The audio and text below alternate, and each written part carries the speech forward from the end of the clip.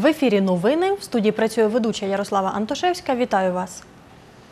96 пар близнят і двійнят сьогодні пройшли парадом центральною вулицею Хмельницького.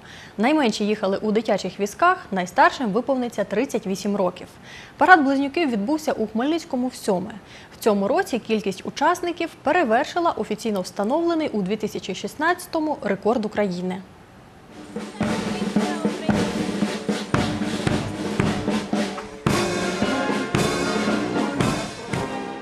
Ідея виникла сім років тому, коли у мене особисто самої дівчинки е, близнятка. е, І ми переглядали просто по інтернету парад, як це відбувається, ну, до прикладу, в Америці. Ну, ще були зовсім маленькі, але задали цілком таке розумне запитання: е, а чому в нашому місті чи в нашій країні такого не відбувається?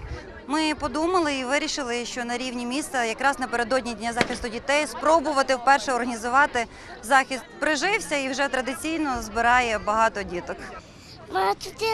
Тут а Фані тут. Бувало, екзамени здавали, віршів, навіть в університет поступали так е, одна за одну. Хто там знає, хто який. Ну і так е, по життю, якби знаєте, подружки це таке сьогодні є, завтра такі змінюються завжди. А якби сестра, то тим, тим більше, якби близняшко, то завжди так на постійному контакті і завжди якби підтримує. Там в різні подорожі ми завжди разом їздимо, то якби все все разом.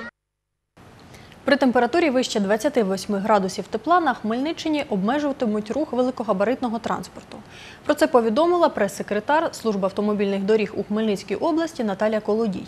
За її словами, йдеться про вантажівки вагою понад 24 тонни. Такі обмеження запроваджують для збереження покриття автодоріг. Вантажівкам дозволено рух вночі. В день для тимчасової стоянки транспорту на Хмельниччині облаштовано 28 майданчиків вздовж трас та поблизу об'єктів дорожнього сервісу. Контролюватимуть обмеження руху великогабаритного транспорту працівники Укртрансбезпеки та Національної поліції області. На початку червня закінчать ремонтні роботи з реконструкції першої ділянки привокзальної площі Хмельницького. Про це повідомив виконроб фірми підрядника Микола Ковальчук. Зараз там знімають верхній шар асфальтно-бетонного покриття. Микола Ковальчук каже, роботи складні через велику площу території, а також через автівки, що припарковані поруч. Подробиці у сюжеті Дарини Денисенко.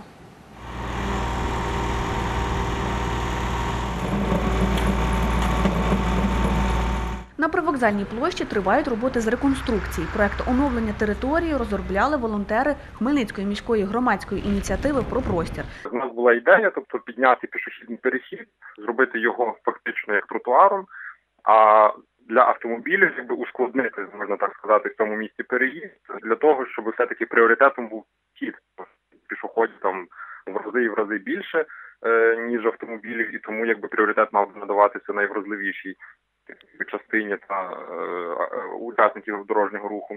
Наразі працівники фірми-підрядника знімають верхній шар асфальтно-бетонного покриття. Виконроб Микола Ковальчук каже, реконструкція ускладнюється через велику площу території. неможливо проводити ремонти е, от, при наявності автомобілів на парку місцях. Тому ми робимо частинами. Зараз ми робимо оцю частину повністю разом з бруківкою, з асфальтом покриттям. Потім ми закриваємо другу половину площі і, соответственно, будемо робити е, відповідно другу половину площі.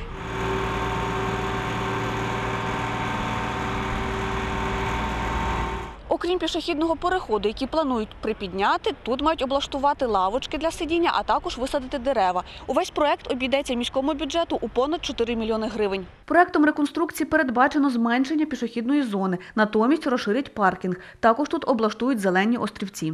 Буде мати такі цікаві індивідуальні вуличні меблі е, з бетону. Е, На самій стоянці будуть е, зелені острівці. На тротуар виділено півтора мільйона гривень. На саму стоянку трішки більше 4 мільйонів гривень. В результаті закінчення робіт матимемо оновлену привокзальну площу. Вона частково буде розширена в деяких місцях. Закінчити усі роботи з реконструкції привокзальної площі планують наприкінці літа. Дарина Денисенко, Дем'ян Цегольник. Новини Поділля Центр.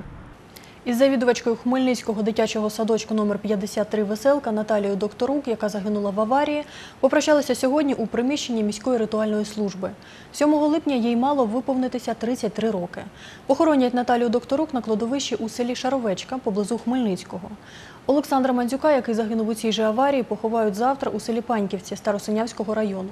Про це повідомив Сергій Бортник, начальник спеціального комунального підприємства Хмельницька міська ритуальна служба. Нагадаю, ДТП сталося 29 травня близько опівночі на виїзді з Хмельницького. Автомобіль Нісан врізався у лісовоз. В результаті аварії двоє людей загинули, п'ятеро травмовані. За кермом службової автівки був директор міського департаменту освіти і науки Роман Миколаїв.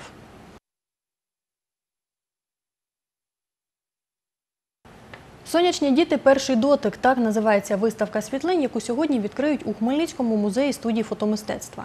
За словами директора музею Віталія Савіна, це мандрівний соціальний проєкт херсонського художника Олександра Андрющенка. Раніше світлини демонстрували у Херсоні, Харкові, Києві та Вінниці. У Хмельницькому ці фото покажуть вперше.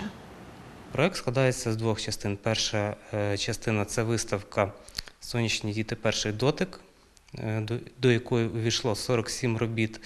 Е, 47 е, ця цифра є е, не випадковою, тому що у е, сонячних дітей саме 47 хромосом, що на одну хромосому більше, ніж у звичайних людей.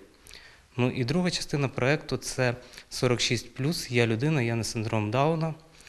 Е, Це вже е, фотографії більш дорослих дітей і, е, і людей, е, які живуть синдромом Відкриття виставки заплановане на 16 годину. У музеї студії фотомистецтва працюватиме моя колега Тетяна Ворожцова. Більше про все розповість у вечірньому випуску новин. Pre-party фестивалю «Майфест 2018 відбудеться сьогодні в обласному центрі. На майданчику біля кінотеатру імені Тараса Шевченка о 19-й годині презентують локації, на яких відбуватиметься фестиваль, а також оголосять його хедлайнерів. Як повідомила заступник начальника управління молоді та спорту Хмельницької міської ради Олена Мандзій, це будуть Іван Наві та рок-гурти Карна і Фаренгейт. Майфест проведуть 30 червня до Дня молоді на території молодіжного парку. Хмельницька стрибунка в довжину Марина Бех стала срібною призеркою міжнародних змагань у Латвії. Її результат 6 метрів 47 сантиметрів.